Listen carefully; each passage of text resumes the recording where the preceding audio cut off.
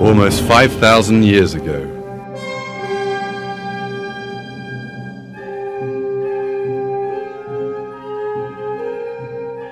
In the fertile soils of the Middle East, pagan religions prevailed in Mesopotamia.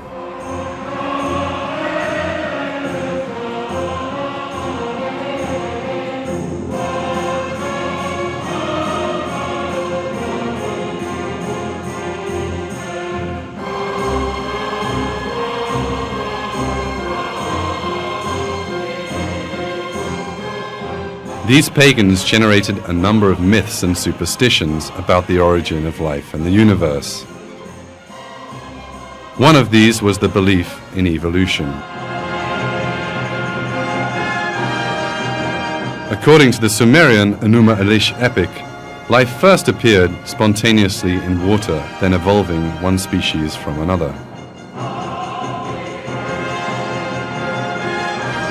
Many years later, the myth of evolution found fertile ground in another pagan civilization, ancient Greece. Some Greek philosophers, calling themselves materialists, accepted only the existence of matter and counted matter as the original source of life. Consequently, they resorted to the myth of evolution inherited from the Sumerians to explain how living beings came into existence.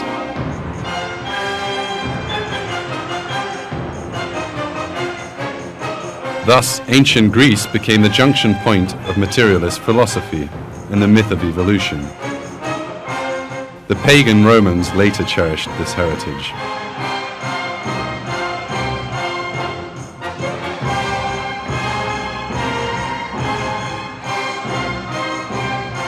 These two concepts from idol worshipping cultures were introduced to the modern world in the 18th century. Some European intellectuals, influenced by ancient Greek sources, who accordingly adopted materialism with one common belief. They were completely against the very idea of monotheistic religion. The book by the renowned materialist Baron de Holbach, The System of Nature, was considered the principal source of atheism. In this context, the French biologist Jean-Baptiste Lamarck was the first person to give a detailed account of the theory of evolution. Lamarck's theory, which was later refuted, maintained that living beings evolved from one another through slight variations over time.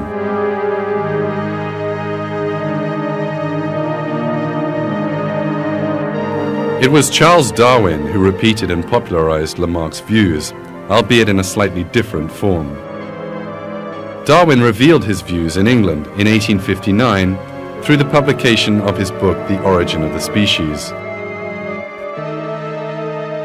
Darwin's book was in reality a detailed version of the evolution myth, originally introduced by the ancient Sumerians. His theory maintained that all the different species came from a common ancestor that appeared in water by chance, which every living species had sprung from over time, again by chance.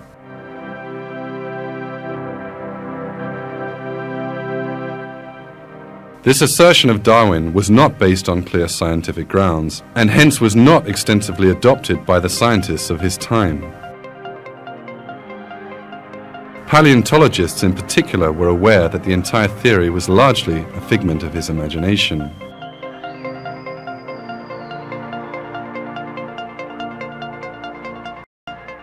The fossil record revealed that living things did not undergo an evolutionary process from primitive to the complex.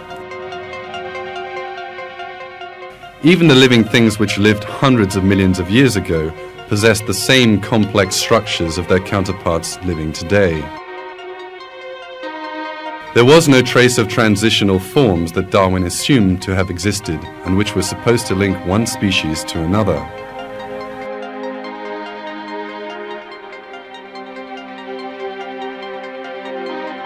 In the years to come, other assertions of the theory were refuted one after another. Biochemistry revealed that life was too complex to have emerged by chance as Darwin claimed.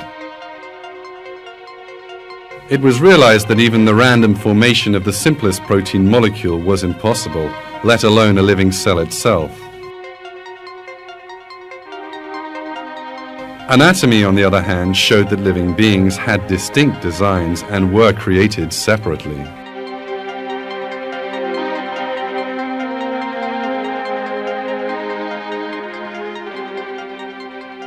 In brief, Darwin's theory lacked a scientific basis.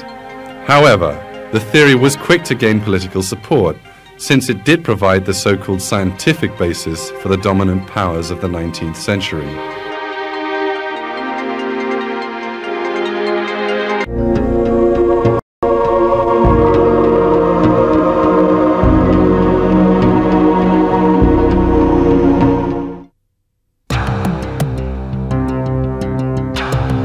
In 1871, Darwin published another book, The Descent of Man, in which he claimed that man evolved from some ape-like creatures.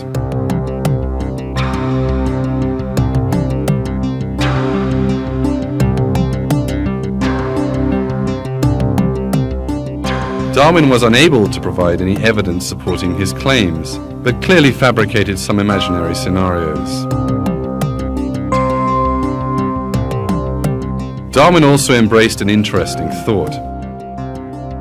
He asserted that some races were more evolved and therefore more advanced than others, whilst other races, on the other hand, he considered still to be at the same level as the apes.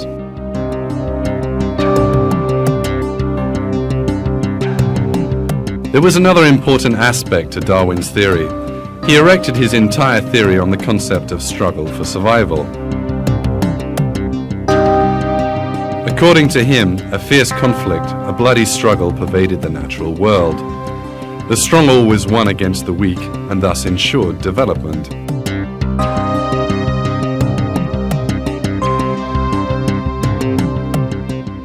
Darwin asserted that a similar conflict also held true for human races.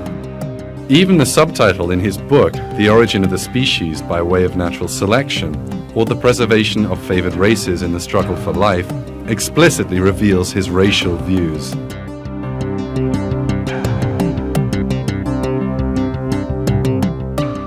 According to Darwin, the favored race was the European white man.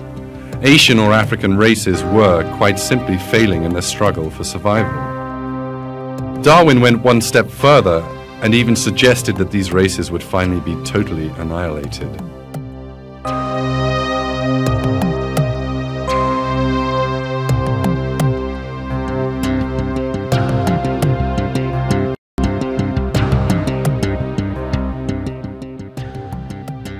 At some future period, not very distant as measured by centuries, the civilized races of man will almost certainly exterminate and replace the savage races throughout the world.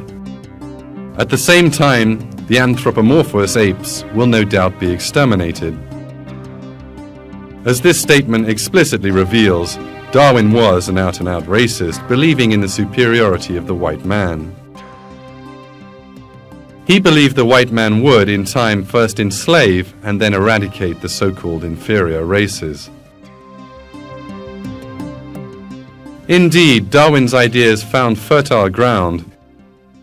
In his time, the white man was already in search of a theory to justify his crimes.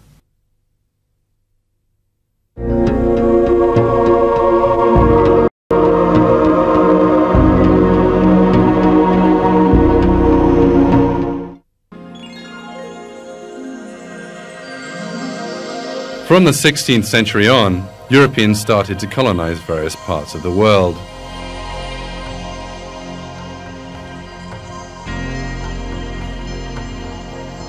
The first colonizers were the Spanish under the guidance of Christopher Columbus.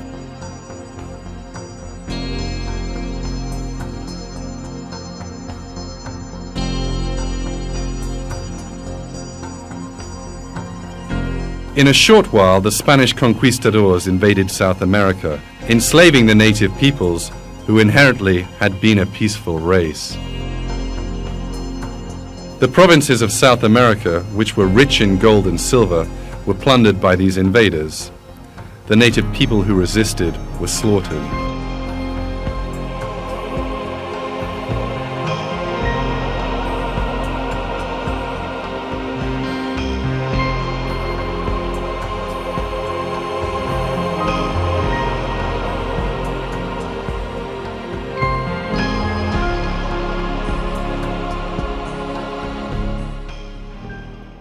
After the Spanish, the Portuguese, the Dutch, and then the British took part in the competition for colonization. In the 19th century, Britain became the world's greatest colonial empire. From India to Latin America, the British Empire exploited the natural resources far and wide.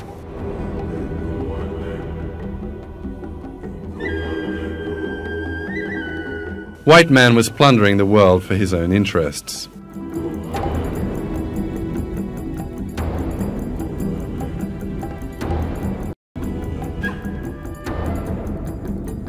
Of course, these colonial powers did not want to be remembered throughout history as plunderers. So they have sought a means of justification for this exploitation. The justification was labeling the exploited people as primitive men, even possibly animal-like creatures.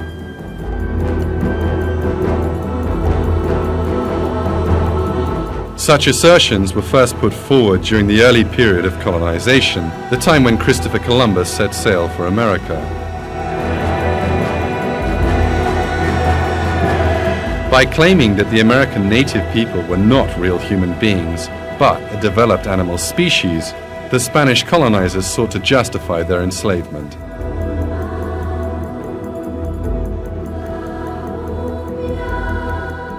As it happened, this argument did not attract many advocates, since during that period, Europeans widely believed that humans were all created equal by God and that all came from one common ancestor, the prophet Adam.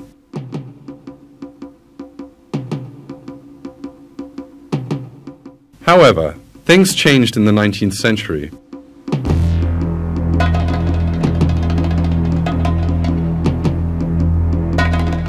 As materialist doctrines flourished, people started to ignore the fact that human beings were created by God.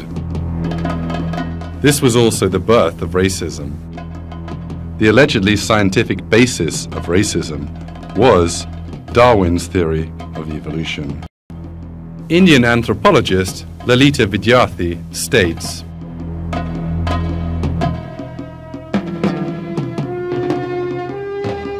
Darwin's theory of the survival of the fittest was warmly welcomed by the social scientists of the day, and they believed mankind had achieved various levels of evolution culminating in the white man's civilization. By the second half of the 19th century, racism was accepted as fact by the vast majority of Western scientists.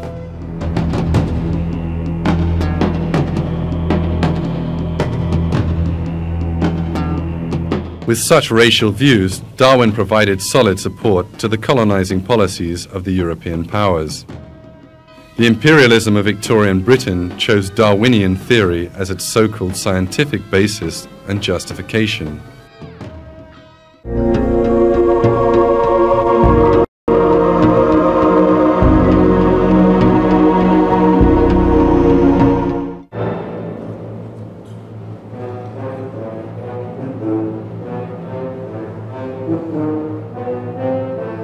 One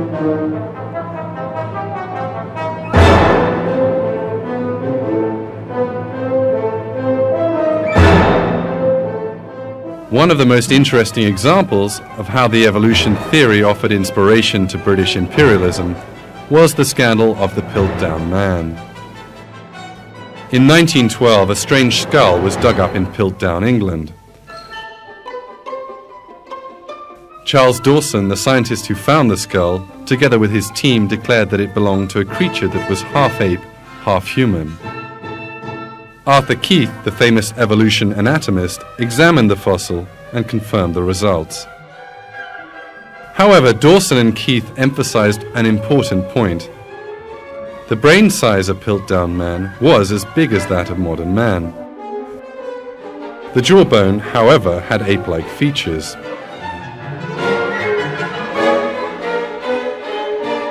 Suddenly, the brain of Piltdown Man became a source of great pride for the British.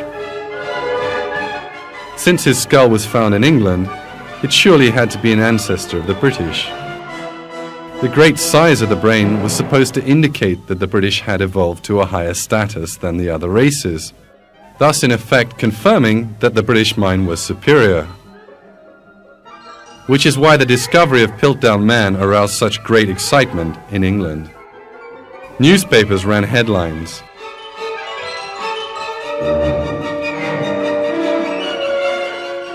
In social circles, they joyously celebrated this discovery. The British government, for their part, honoured Arthur Keith with a knighthood as acknowledgement for his work on the Piltdown skull. The famous evolutionary paleontologist Johansen explains the relationship between Piltdown and British imperialism as follows.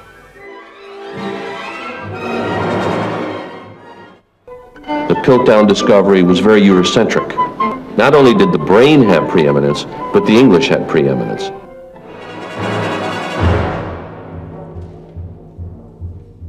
The inspiration the English derived from Piltdown Man lasted for 40 years. Then, in 1953, a scientist named Kenneth Oakley examined the fossil in detail and disclosed that it was in fact the greatest forgery of the 20th century. The fossil had been faked by attaching an orangutan jaw to a human skull. London Radio announced this fact in astonishment. Britain's august Natural History Museum is all a dither over a scandal concerning the Piltdown Man. One of the most famous fossil skulls in the world is declared to be in part a hoax. Forty years ago, its discovery was a sensation. Today comes the shocking news that this is skullduggery. For the evolutionists, the Piltdown Man scandal was only a beginning. In the coming years, other skulls were presented as proof of the ancestor of man. But later, each one of these proved to be either a fraud or a misinterpretation. It was determined that these skulls either belonged to extinct ape species or ancient human races. Despite this fact, evolutionists went even further and dared to present fossils of chimpanzees, orangutans, and even pigs as ancestors of man. Yet over time, they had to reject these fossils, to which they gave names such as Zinjanthropus, Ramapithecus, and Hesperopithecus. The story of Piltdown Man provides a symbolic indication of how British racism derived support from the theory of evolution. English imperialism had actually found more solid grounds to rely on.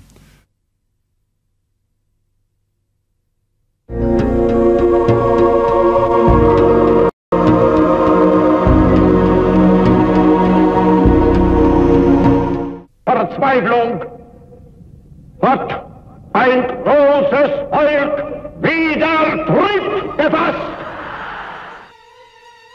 Nazism was born out of the political chaos that Germany experienced after the First World War. The leader of the Nazi Party was Adolf Hitler, who had a highly ambitious and very aggressive nature. Hitler took an intensely racist standpoint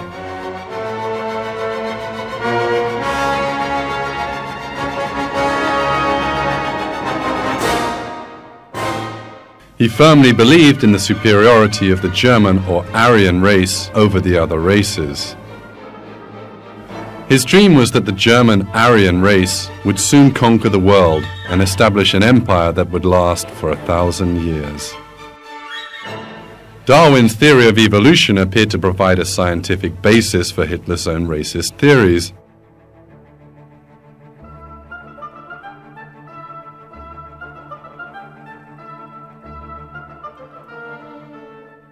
Hitler also derived ideological support from the works of Heinrich von Treitschke, the racist German historian. Treitschke was greatly influenced by Darwin's theory of evolution and based his own racist views on Darwinism. He said, Nations can only evolve through a fierce struggle similar to Darwin's struggle for existence. Hitler also derived inspiration from Darwin's struggle for existence.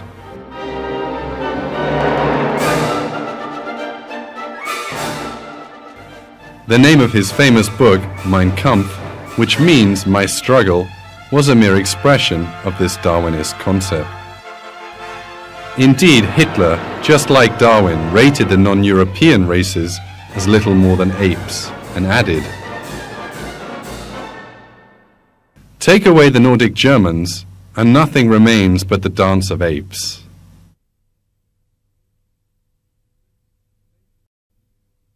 The basis for the evolutionist views of the Nazis lay in the concept of eugenics.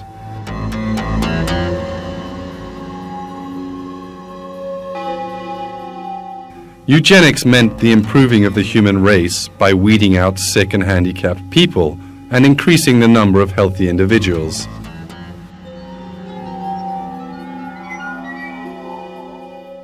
According to the theory of eugenics, the human race could be improved in the same way that better kinds of animals can be bred by mating healthy specimens.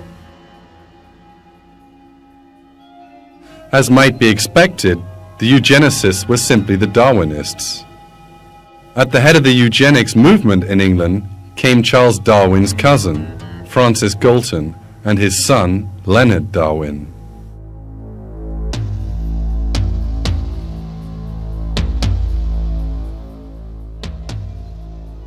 It was evident that the theory of eugenics was a natural consequence of Darwinism. This fact is also made very clear in publications that promote this dubious science. To quote but one, eugenics is the self-regulation of one's own evolution.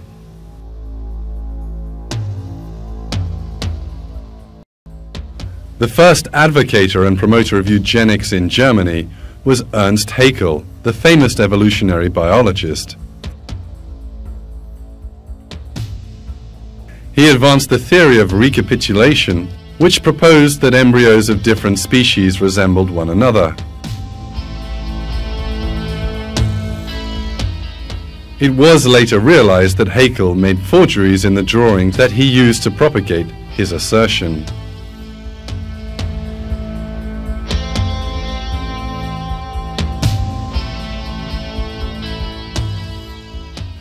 Haeckel falsified his drawings in order to show fish, human, and chicken embryos were similar to one another.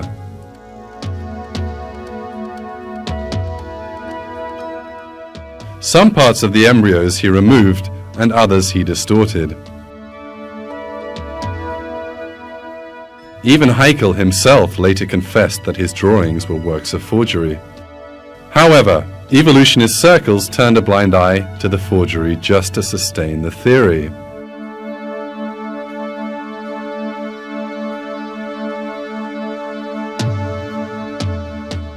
While producing scientific forgeries, Haeckel also spread the eugenics propaganda.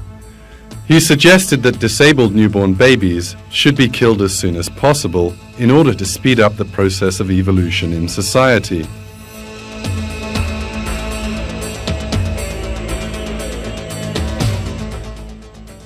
He went further and proposed that disabled, mentally retarded, and the genetically sick should be killed off right away.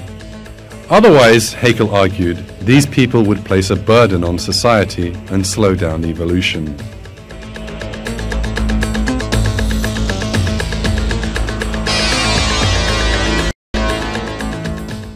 Haeckel died in 1919, but the Nazis inherited his cruel ideas.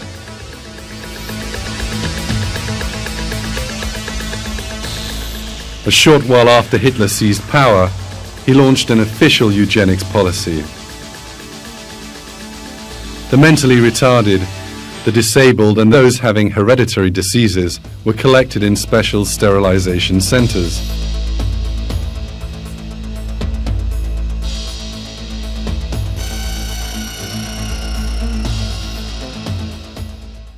These people were considered parasites who posed a threat to the purity of the German race and hindered the progress of evolution.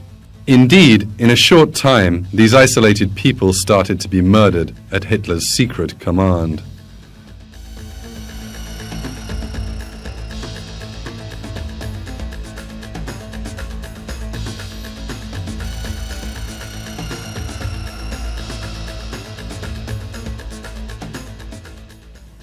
In his effort to speed up the so-called evolution of the German race, Hitler murdered many people. Meanwhile, he pursued another requirement of eugenics. Young men and women with blonde hair and blue eyes, considered typical specimens of the pure German race, were encouraged to have sexual relations with one another. In 1935, special reproduction farms were established. SS officers frequently visited these farms where young women who met the Aryan criteria had been housed. The illegitimate babies born on these farms were to become the future soldiers of the German Reich.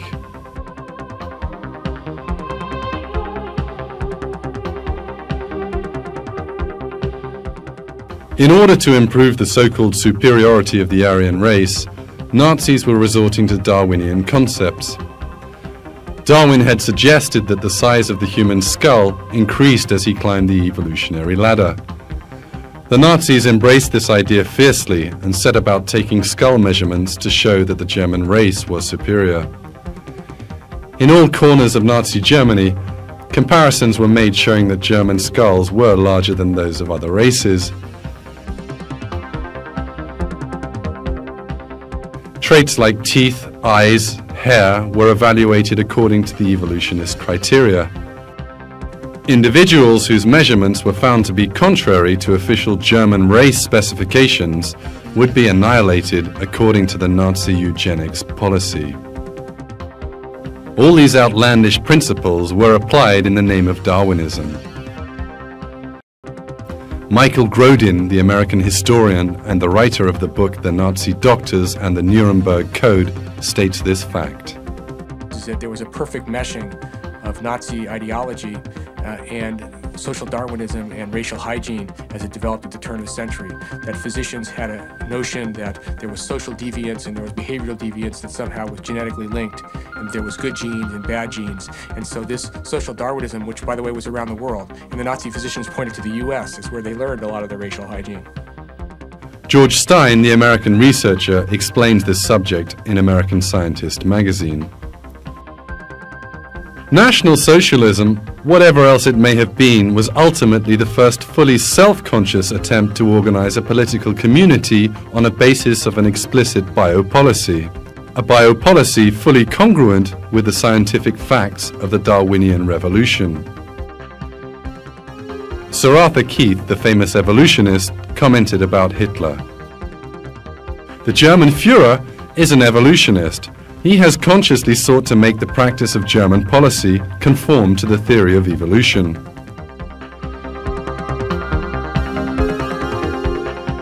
Another important reason for Hitler's evolutionism is the fact that he saw the theory as a weapon against religious beliefs. Hitler had a deep-rooted hatred of monotheistic faith. Religious virtues like love, mercy and modesty were a great hindrance to the merciless and militaristic Aryan race model. Wirtschaftlich zu vernichten, dass dann Deutschland nicht mehr länger untätig zusehen könnte. That is why, from the time the Nazis seized power in 1933, they aimed for a return to ancient pagan religion for German society.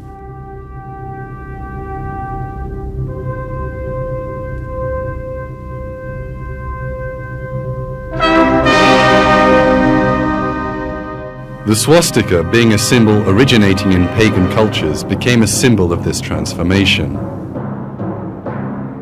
Nazi ceremonies held in every corner of Germany were in fact reconstructions of ancient pagan rites.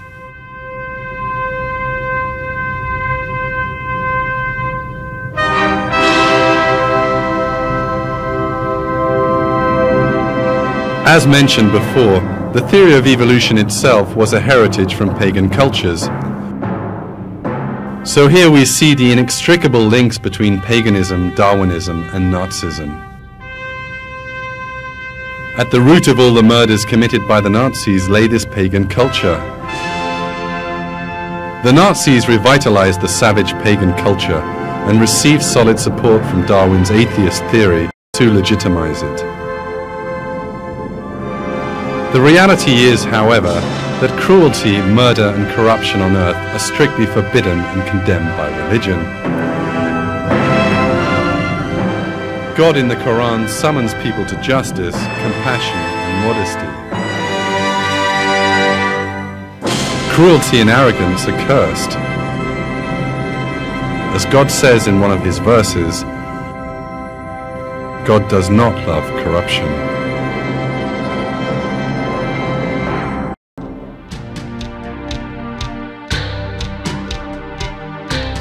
Benito Mussolini, the Italian dictator and one of Hitler's great allies, was also inspired by the theory of evolution. In his youth, he wrote articles which portrayed Darwin as the greatest scientist ever. After coming into power, his fascist Italy occupied Ethiopia. He justified his occupation of Ethiopia with Darwin's racist views and the concept of the struggle for survival.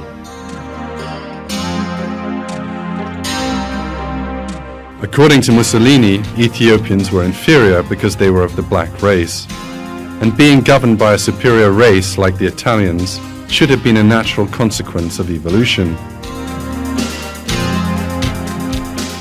Mussolini was also seized by the thought that nations evolved through war. For Mussolini, the reluctance of England to engage in a war only proved the evolutionary decadence of the British Empire.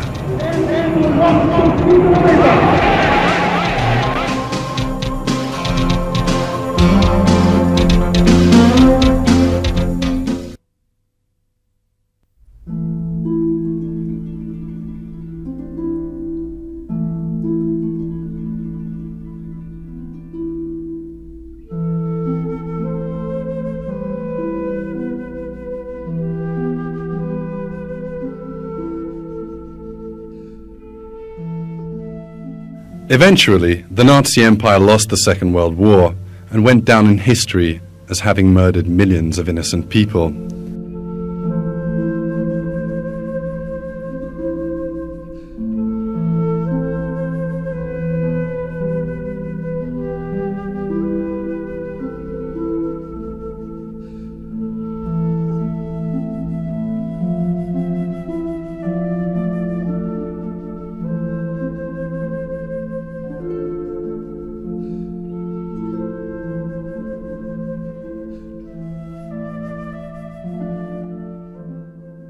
Mussolini, on the other hand, was executed by his own people.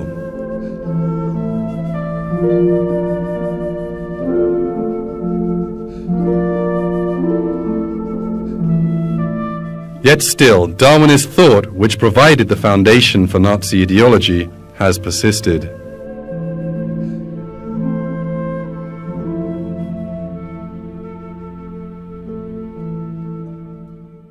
The notion suggesting that humanity is exalted through struggle and violence was actually the source of another ideology, which on the surface appeared to be entirely different from Nazism.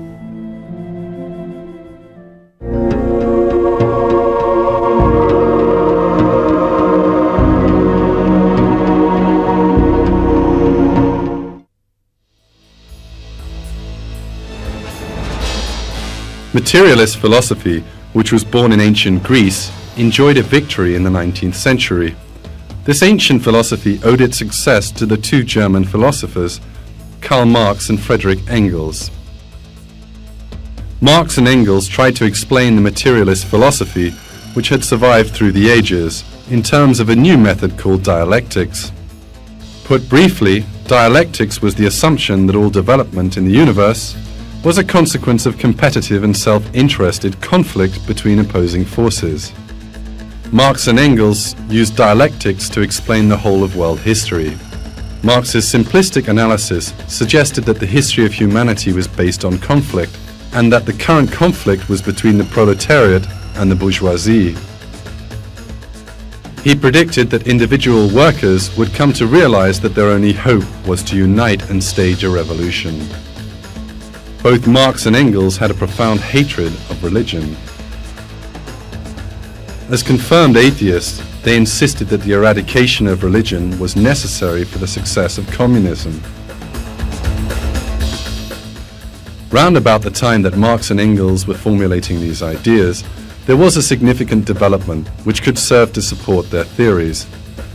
Darwin came on the scene with his book, The Origin of the Species. Darwin proposed that in the world of biology, living beings evolved and survived as a result of a struggle for existence.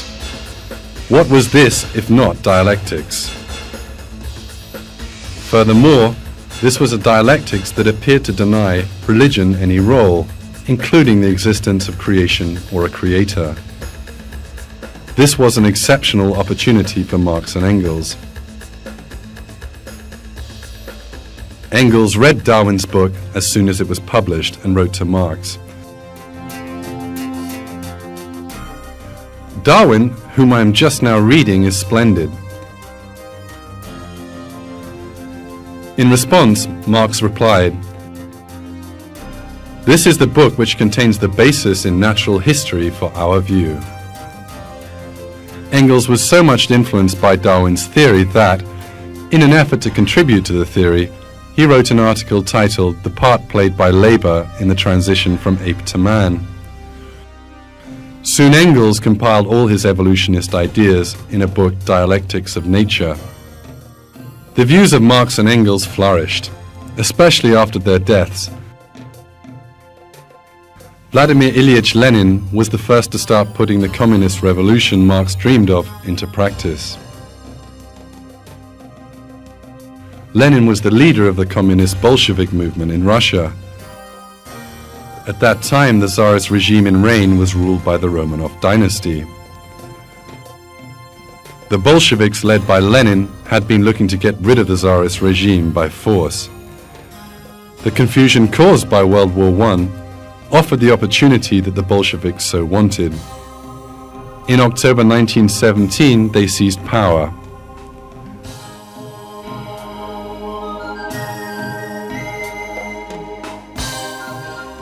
After the revolution, Russia became the scene of a bloody civil war between the communists and the adherents of the Tsar.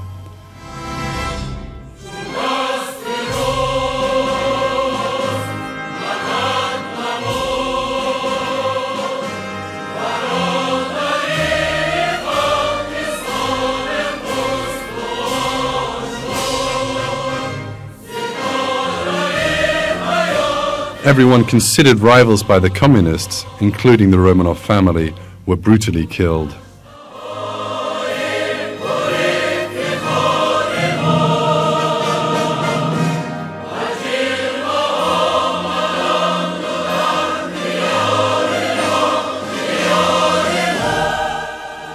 Like his mentors Marx and Engels, Lenin was also a fervent evolutionist and frequently stressed that Darwin's theory was the basis of the dialectic materialist philosophy he advocated.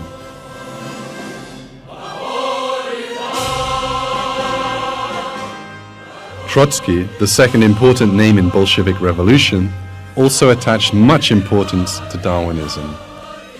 He expressed his enthusiasm for Darwin thus Darwin's discovery is the highest triumph of the dialectic in the whole field of organic matter.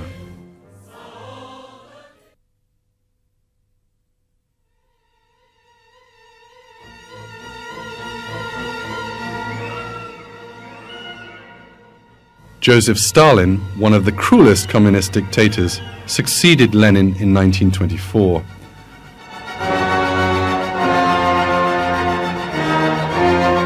Studying Stalin's 30-year reign of terror, one could almost say that his overall intention was to prove the cruelty of communism.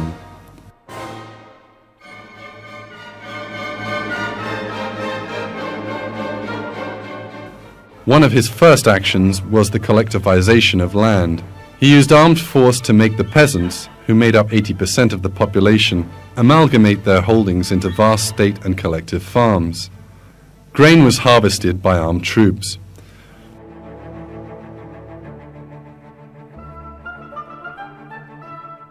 Famine swept the land, killing men, women, and children.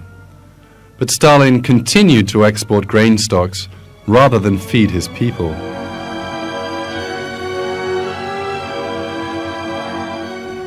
It's calculated that some 10 million peasants perished during these early years. Six million died of famine in the Ukraine. 20% of the population of Kazakhstan disappeared. In Caucasia alone, the death toll was 1 million. Stalin sent hundreds of thousands of people who resisted his policies to labor camps in Siberia. These camps, where the prisoners were worked to death, became a grave for most of these people. Meanwhile, tens of thousands of people were executed by Stalin's secret police.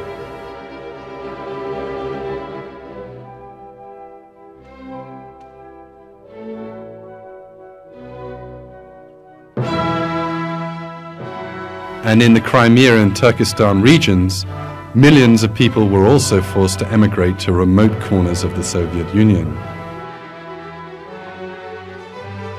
As a result of Stalin's bloodthirsty policies, more than 30 million people were killed. According to historians, Stalin derived a special pleasure from this violence. In his office in the Kremlin Palace, he enjoyed examining lists of people executed and murdered.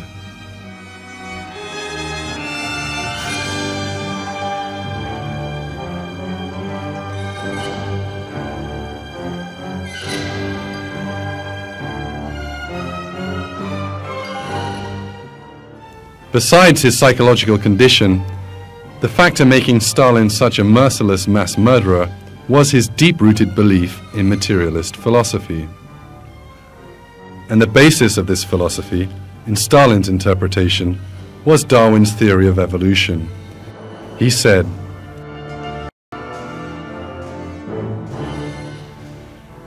There are three things that we had to do to disabuse the minds of our seminary students we had to teach them the age of the Earth, the geologic origin, and Darwin's teachings.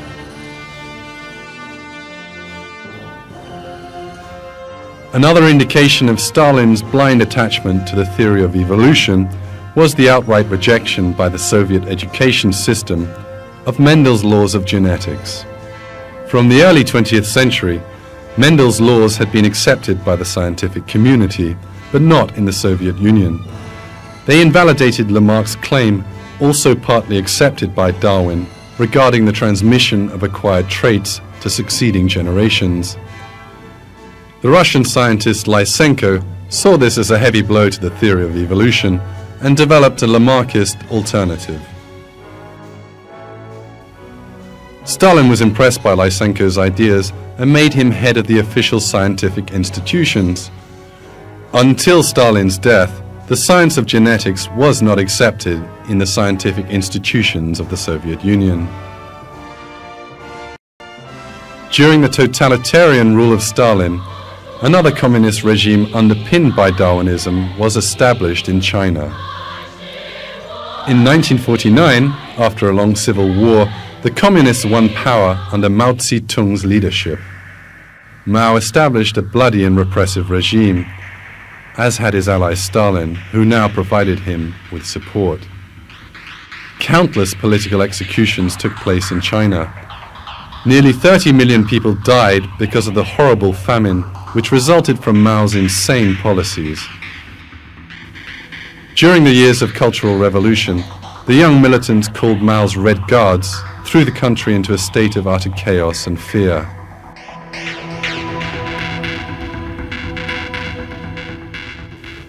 Mao explained the philosophical basis of his regime by explicitly stating that Chinese socialism is founded upon Darwin's theory of evolution.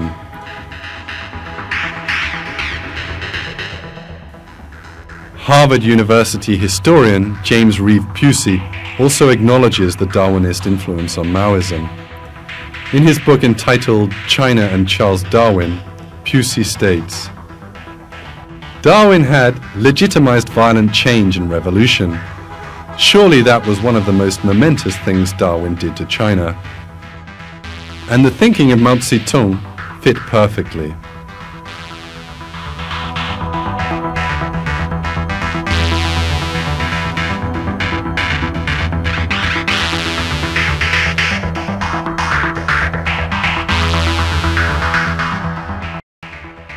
Communism has caused terror, guerrilla war, and civil wars in many countries. In Cambodia, the communist Khmer Rouge slaughtered nearly one third of the country's population. People were killed only because they took a few grains from the collective farms or they said a word inconsistent with communism. The remnants of the Cambodian massacres clearly display the horror of communism without any further need for words.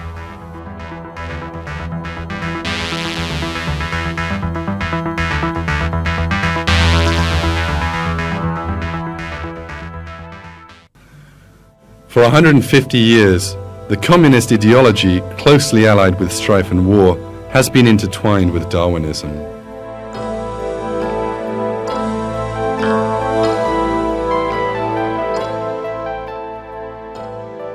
Today, Marxists and communists are still the foremost advocates of Darwinism.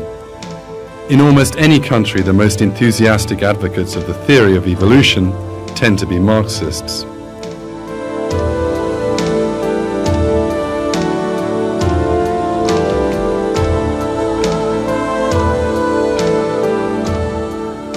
That is quite simply because, as Karl Marx himself said, the theory of evolution contains the basis in natural history for his materialist ideology.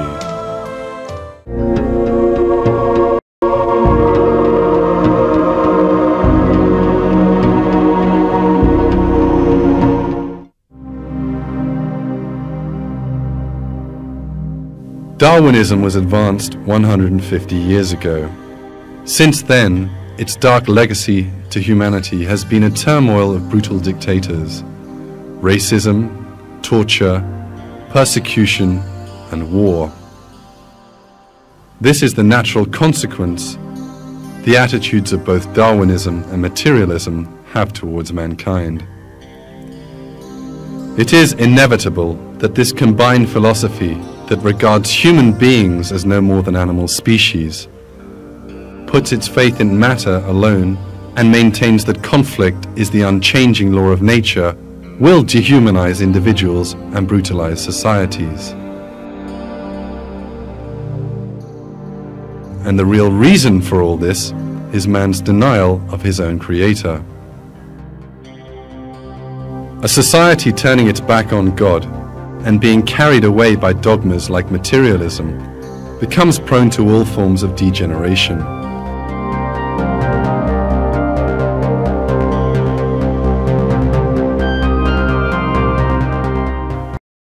Consequently, it inevitably faces pain, fear, and destruction. God informs us of this fact in one of his verses.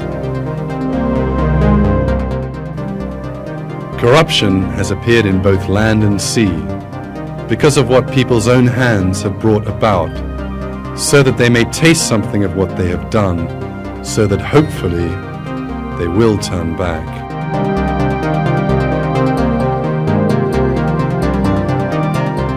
Peace, justice and security can be attained only when Darwinism and materialism are exposed to the world as the deceptions they really are. And when man knows the purpose of his creation, that purpose is to turn to one's creator, to turn to God.